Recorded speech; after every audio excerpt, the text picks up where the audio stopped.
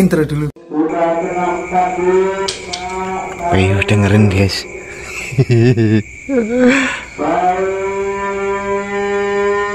iya kau.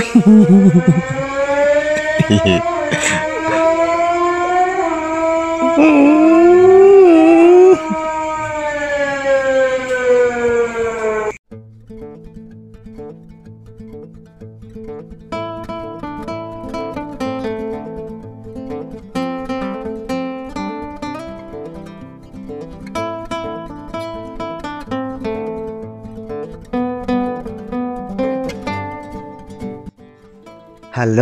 assalamualaikum warahmatullahi wabarakatuh. Jumpa lagi ya sama saya Sitanisi Deso. Gimana kabar sobat semua? Sudah sahur belum? Ya, yang belum sahur merapat ke depan ya. Tinggal pilih ada pecel lele, ada martabak. Oke, sahur kali ini kita akan bahas HP kesambar petir. Iya. Ya, di depan kita ini ada Samsung A50s kondisi mati total ya. Kronologinya, HP ini tuh dicas di kamar. Lalu hujan badai, petir. Lalu saat setelah petir dicek HP mati. Nah, ini kita akan analisa ya. Saat saya coba cas dengan smart USB hanya 0,1 ampere diam, tidak jalan sama sekali. Nah, kasus ini bisa terjadi karena IC power rusak, baterai rusak, IC cas rusak, dan kira-kira yang mana? Tentunya kita nggak bisa menyimpulkan ya sebelum kita cek lagi. Oke, kita sudah cek dengan smart USB. Hasilnya tidak ada pergerakan sama sekali. Nah, tentunya kita bisa merunut dengan histori atau kronologinya. Jadi, kronologi itu menjadi sangat penting ya di saat kita menganalisa HP yang akan kita servis. HP ini karena dicas awalnya ya, lalu petir. Umumnya jika kena petir sambil dicas itu ada gelombang gelombang bisa disebut gelombang listrik lah ya yang dari petir masuk menuju kabel cas-casan langsung ke jalur VBAT. Nah, yang paling utama jalur VBAT itu IC power. Nah, tadi kita cek kan hanya 0,1 ampere itu juga salah satu ciri-ciri IC power rusak ya. Bisa jadi jebol IC powernya. Nah ini sudah kita buka ya hingga ke bagian mesin Lalu hal pertama kita coba cek baterai. Siapa tahu baterainya ya. Namun biasanya jika efek petir itu baterai langsung almarhum Biasanya ya. Kita akan coba cek. Dan betul sekali Baterai almarhum. Ini karena dahsyatnya gelombang apa ya petir itu ya. Merambat dia sampai ke jalur VPAD di IC power. Nah ini hanya 0,8 volt. Kecil banget ya. Oke kita akan coba Injek ya baterainya Atau aktivator. Perhatiin Tidak nyala lampu LED ya. Biasanya nyala lampu LED warna merah Di aktivatornya. Nah ini artinya baterai sudah memang almarhum ya bukan soak. Beda ya soak sama mati atau mati suri. Nah ini jalan satu-satunya kita mesti kejut tegangan 12 volt dengan power supply bisa atau tembak dengan power supply ya dipancing di tegangan 5 volt bisa juga. Nah ini sudah saya kejut perhatiin perbedaannya kan dia langsung nyala ya lalu saat dicas sudah warna biru. Nah ini sudah normal baterainya siap untuk diinjek ya. Jadi teman-teman jika temui kasusnya sama lakukan hal yang sama. Kejut dengan power supply. Oke ini kurang lebih 15 menit. Kita cek ulang untuk baterainya apakah keluar nilai tegangan. Ya 3,7 ini sudah normal ya. Artinya saat dicas pun harusnya sudah bisa ngecas dinyala pun harusnya sudah bisa nyala ya kalau mesinnya normal. Namun ternyata saat saya coba cek ulang hanya 0,1 masih tetap ya. Nggak ada perubahan masih sama dengan yang di awal tadi. Nah ini saya curiga ini IC power yang kena atau jebol karena pada umumnya pengalaman saya selama ini kasus petir itu IC power yang tidak kuat. Ya ini kita coba lihat untuk di bagian mesin ya.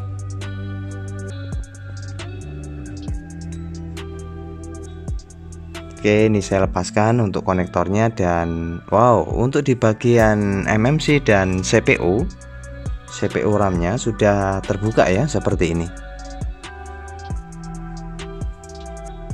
namun kalau untuk petir jarang banget ya ke CPU apalagi ke MMC jarang. Nggak nggak mungkin ya karena biasanya itu elektromagnet apa e, gelombang listrik dari petir tuh langsung ke jalur feedback biasanya yang kena oke ini kamera kameranya saya copot ya. Oke teman-teman. Nah ini sudah setengah 10 posisi saya masih di counter nih. Jadi kali ini saya akan bahas ini Samsung A50s ya. Ini sudah kita angkat bagian mesinnya. Saya lihat di sini sudah bongkaran. Jadi kronologi HP ini itu mati total kesambar petir. Iya. nah jadi untuk informasi ya pengalaman saya selama ini jika dapat servisan HP entah itu Oppo, Vivo, Samsung, Xiaomi yang bekas kesambar petir biasanya tuh kalau tidak mesin konslet rusak IC nah IC yang sering saya temui itu rusaknya di IC power. Mengapa bisa terjadi? Karena petir itu kan nyambar ya. Nyambar entah itu dari pengecasan saat dicas dia harus sambar merembet ke bagian feedback menuju ke IC power. Jadi bagian komponen di mesin HP yang banyak jalur feedbacknya itu berada di IC power. Itu yang pertama. Yang kedua bisa di IC bagian sinyal bisa di RF PA lalu yang ketiga bisa juga di IC cas IC audio. Namun yang sering terjadi itu di IC power. Khusus kesambar petir ya. Nah ini untuk menentukan kita mesti cek dulu bagian mesin konslet tidak.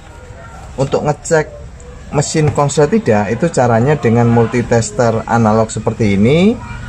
Lalu kita tempelkan nih positif dan negatifnya sesuai kutubnya ya. Oke perhatiin. Jarum bergerak ya. Ini positifnya berarti kanan ya negatif kiri jarum bergerak. Jika dibalik dia diam artinya mesin nggak konslet. Tapi kalau ini bergerak konslet ya. Ini kan diam ya nggak ada bergerak tuh biarpun bergerak, bergerak sedikit tapi dia turun lagi nggak nggak konslet namanya. Ini biasanya karena ini sudah error ya multitasernya berarti mesin ini tidak konslet aman nggak konslet. Lalu kenapa mati total? Biasanya disebabkan karena IC yang sudah jebol. Jebol ini bisa di efek apa bisa disebabkan karena adanya uh, apa uh, petir jadi merembet hingga ke IC power. Nah ini IC powernya sebelah mana? Jadi saya tidak akan ngecek ke mana-mana karena kasus yang sering terjadi kalau kesambar petir IC powernya aja diganti. Ini IC power A50s kemungkinan besar berada di sini ya. Kita mesti angkat kaleng ini. Oke kita akan angkat kalengnya ini dulu ya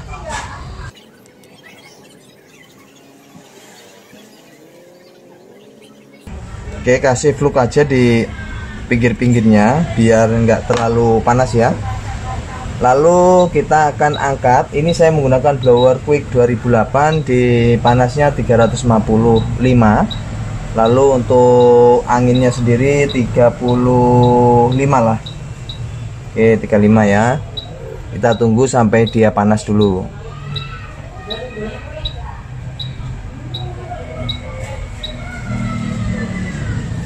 Oke, lalu kita tembakkan begini.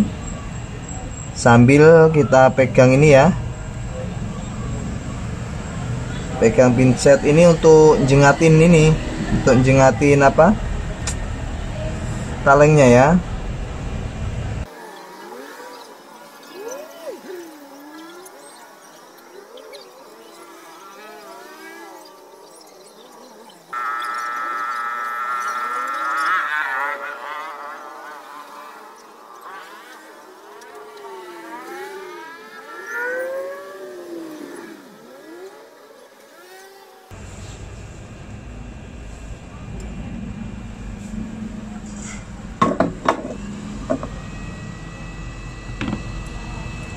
Oke ini sudah terbuka dan ini IC powernya nih. Oke ini IC powernya.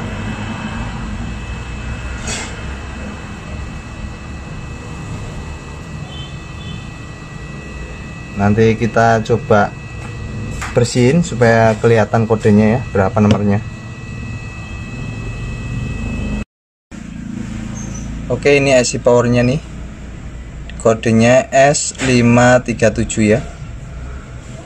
608 RDU jadi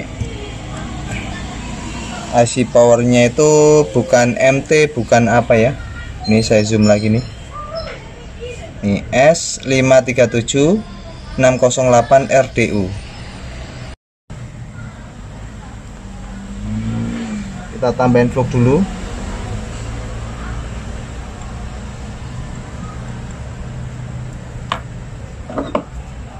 lalu kita angkat ya.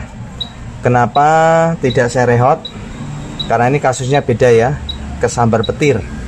Kesambar petir itu biasanya bikin rusak di IC ya. Dan ini jelas rusak IC nya kalau kesambar petir. Beda kalau jatuh. Nah itu bisa kita rehot karena biasanya efek jatuh tuh kaki di bawah IC uh, eh, powernya itu sudah nggak connect atau bad connect. Ya ini saya menggunakan blower uh, Quick 2008 panasnya 400 anginnya 35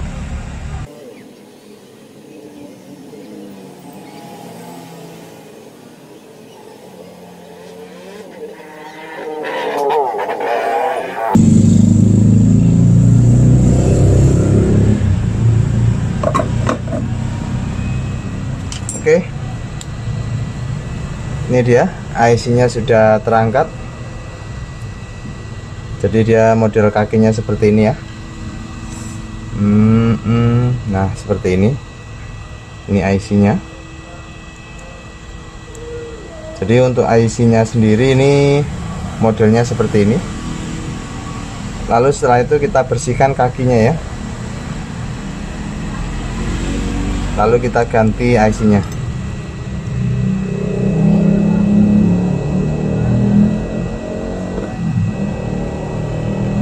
Oke kita akan bersihkan kakinya.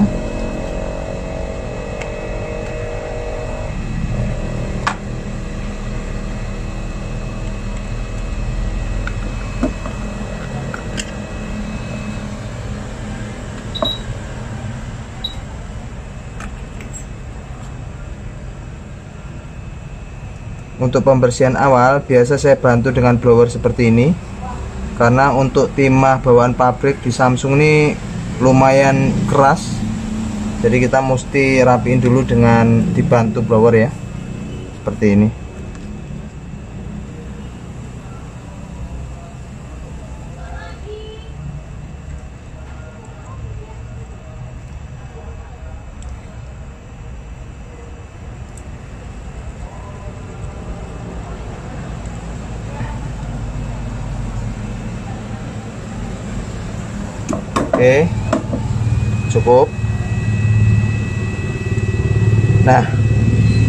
Teman-teman bisa perhatiin Ya.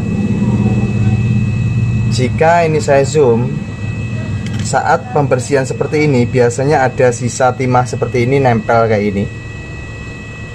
Ini nggak usah khawatir. Selama jalurnya itu nggak grounding itu nggak masalah. Tapi kalau jalurnya beda dipisahin dulu ya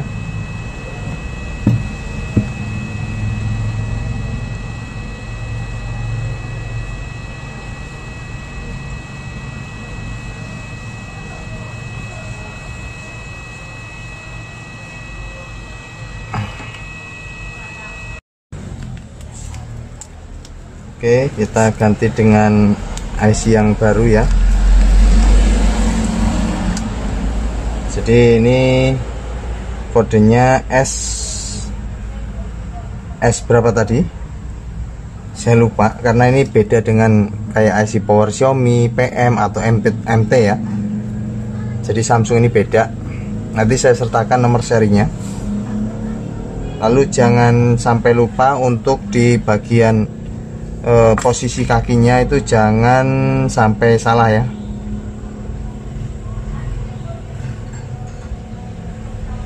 Oke ini ada titik-titik ini sama ini. Kita tinggal samakan saja.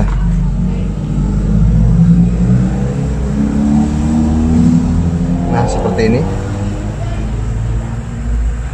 Lalu kita tinggal tambahin fluk sedikit.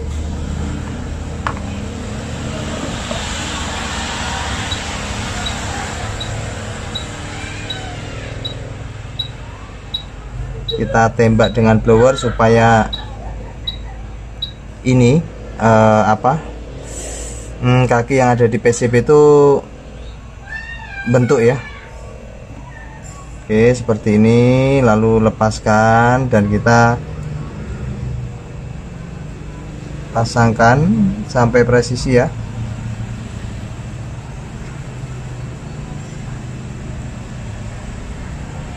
Ini ruangannya sempit. Sepresisi mungkin ya. Jangan sampai salah posisi. Nah seperti ini. Lalu kita langsung tembak saja tidak masalah jangan dikasih plug dulu ya biar dia tuh nempel. Seperti ini jangan kasih plug dulu.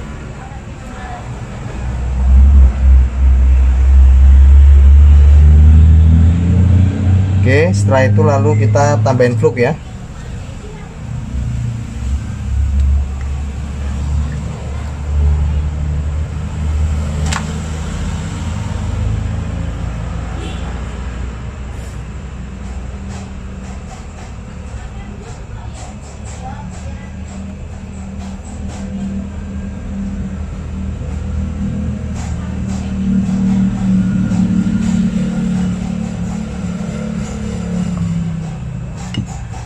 cari posisi buat goyangnya uh, ruangan yang enak ya untuk celah ininya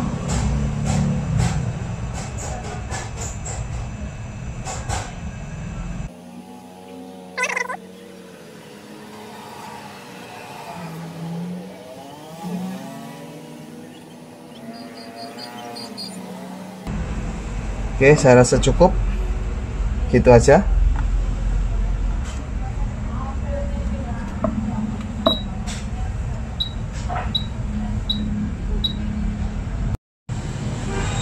Oke teman-teman. Ini sudah saya ganti IC powernya. Jadi ini bisa diperhatiin. Biasanya kalau kita ganti IC power tempatnya sempit seperti ini ya ruangannya. Lalu ada apa ada sisa timah yang nempel di kapasitor satu sama lain. Selama dia tidak ground sama positif tidak masalah ya. Jadi ini satu jalur ujung ke ujung ini satu jalur. Nah ini untuk memastikan dia tuh bermasalah enggak ya tinggal dicek aja konslet enggak mesinnya. Tapi biasanya saya saya biarkan tidak masalah ya untuk dempet seperti ini.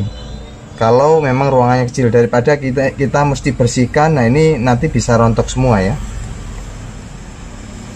Oke kita cek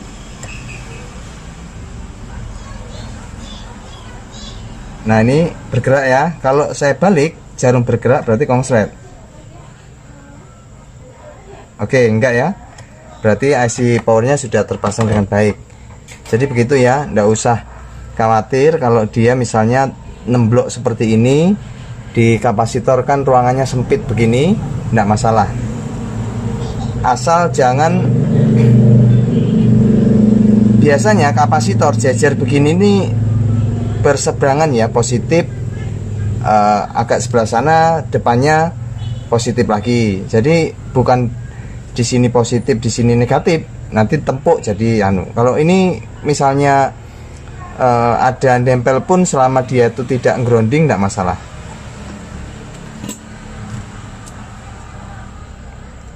Oke kita sudah cek nggak ada ini ya nggak ada yang konslet Oke kita langsung pasang saja ya. Ini mudah-mudahan sudah kelar untuk HP A50s kita langsung coba cas ya. Waduh anak saya sudah nangis terus itu teman-teman. Dia mau ngajak pulang. Oke lah. Bismillahirrahmanirrahim. Ini karena udah lama juga ya saya tadi. Oke Alhamdulillah. Muncul tanda petir ya. Oke 1,0 eh 1,0 1,2 dan 6 persen. Alhamdulillah. Waduh saya nggak tenang ya. Karena kebetulan anak saya tadi ngikut ke sini. Oke Alhamdulillah ini jadi uh, kalau teman-teman dapat kasus yang sama di saat kesambar petir langsung ganti saja IC powernya ya. Dan ini mantap lah sudah uh, bisa dan tinggal saya nyalakan. Oke ini saya nyalain. Alhamdulillah nyala. Duh saya nggak tenang anak saya nangis tuh di luar. Mau ngajak pulang. Ini sudah jam berapa ini? Ya jam 10 ini teman-teman. Karena saya buat konten sahur sih masalahnya ya. Jadi anak saya keburu uh, apa ngantuk kali ya. Oke lah intinya jika teman-teman dapat kasus yang sama coba langsung diganti IC powernya kalau ternyata dia itu kesambar petir. Oke? Oke lah itu aja ya cukup ya. Saya langsung mau pulang ini. Dan terima kasih atas supportnya selama ini. Selamat bersahur jangan sampai bolong puasanya. Bye bye assalamualaikum warahmatullahi wabarakatuh